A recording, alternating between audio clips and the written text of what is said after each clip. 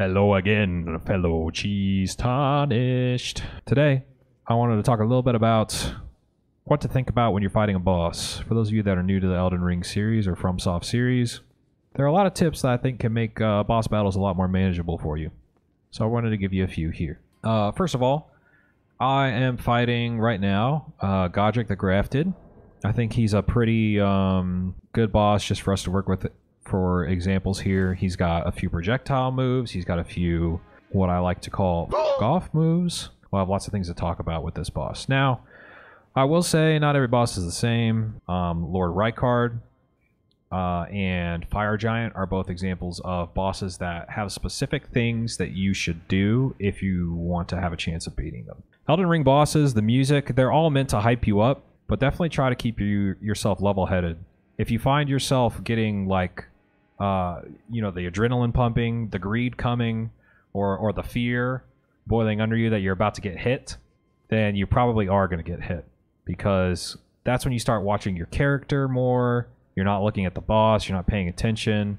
You're not seeing what's happening, and uh, that's that leads to mistakes generally. As you're watching this, the health bar should be jumping around a bunch. That's because I'm cutting up a lot of these fights to condense the information down to you, so you don't have to watch me fight this guy, uh, you know, five times. But I should have one run where I finish him, and whenever run uh, we we beat him on, I'll put it all together for you, so you can kind of see all the different aspects of the boss fight come together. Make sure that you're paying attention to the move set, right? You want to learn the move set of the boss. So I see, okay, so this one's a swing and a jump. And what you're looking for is, is the move punishable? Is the move dodgeable? How many hits does the combo do?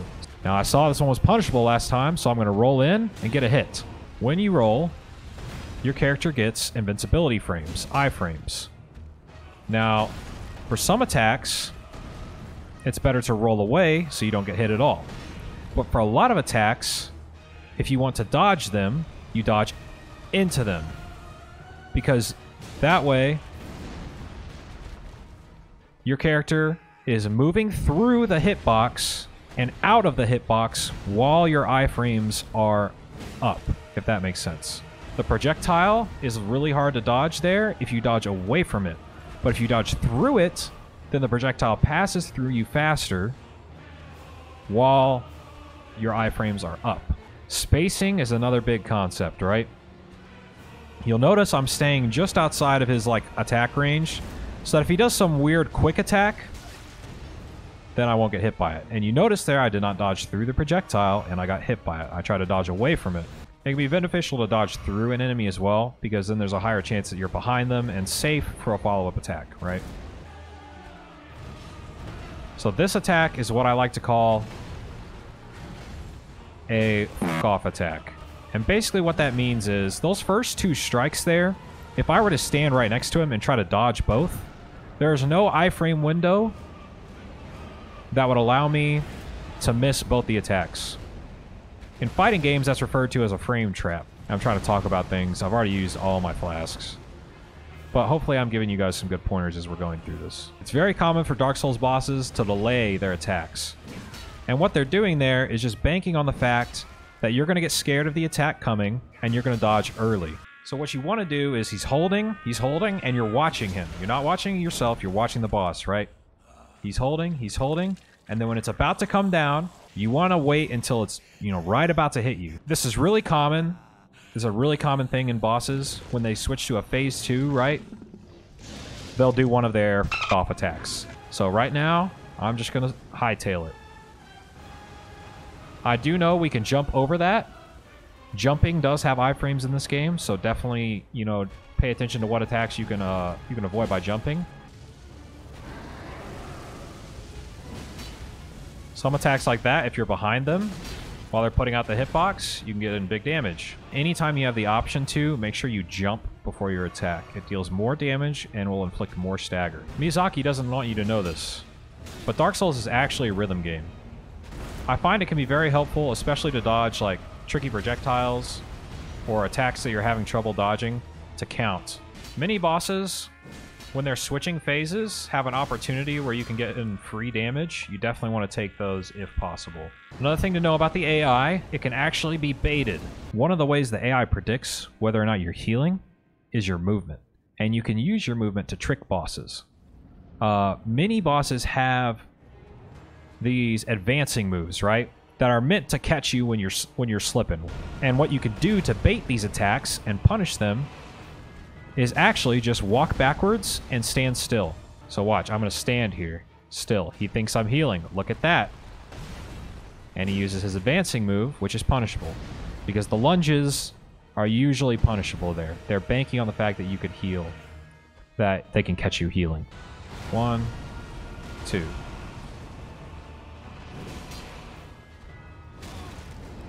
Get hit by some trash damage, no big deal. I don't need to heal yet. Now I need to heal. So I'm going to dodge and heal instead of punch. Two. Then we're going in. This is our F off move. We run. One, two. In.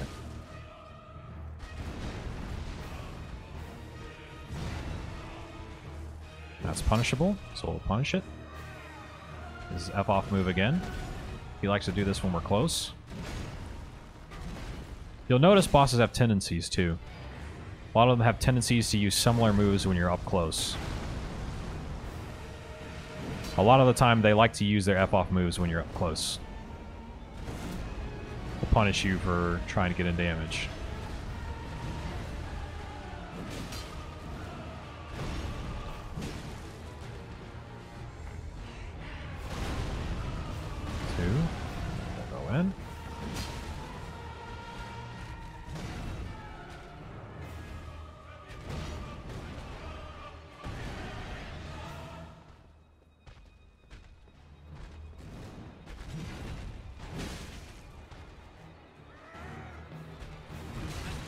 Dodge too early there. I'm still going to go in for some damage because I'm not too worried about it at the moment. We still have half our health. He does not have a lot of moves that uh, kill us at that amount. As much as possible, when you're fighting bosses, you you want to use your flasks efficiently. If you just take one hit, and you can still survive most of his attacks, there's not really any point of burning your flask early because you want it to deal to do as much healing as possible to make your health bar kind of as big as possible as you can over the fight. So I'm going to stop here, try to fool the AI into thinking that I'm healing. Perfect. It worked. We get some free damage. Now I accidentally pressed R1 twice there. That's kind of a bad mistake. And I'm not really prepared to punish this, so I'm just going to run away.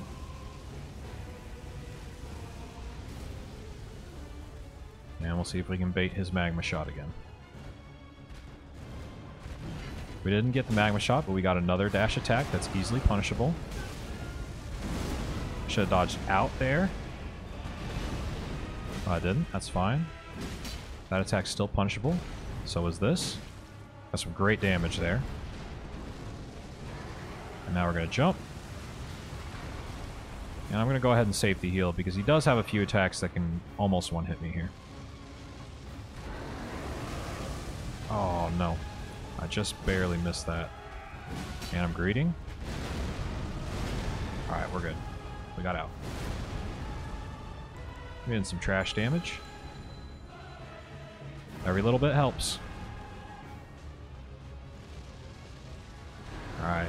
Not ready to punish this attack. Uh, it wasn't close enough.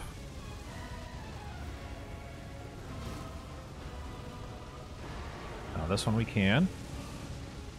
So I'll get up in there, get a swing. And he's going to do this. No surprises there. That's exactly what, he, what we expect. He usually uses that move when we're close to him. And we've seen that. This one's free damage. Here we go. Here's some more free damage for us. Usually likes to use that when we're close to. that version of the move we can punish pretty easily. Just gonna back up, assess the fight, see if I can bait another one of his stupid moves. Perfect, we got one. More damage. Alright, we're gonna jump. And attack. And he's close to dead. But if we stayed there and greeted, I probably would have gotten comboed by that. And now we can find our final punish because we were patient. And that's how you kill bosses in Elden Ring.